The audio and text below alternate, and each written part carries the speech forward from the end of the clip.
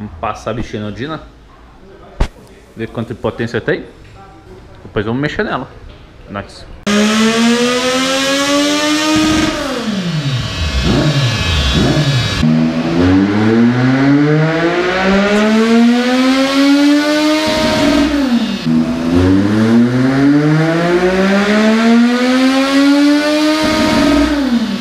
Mm-hmm.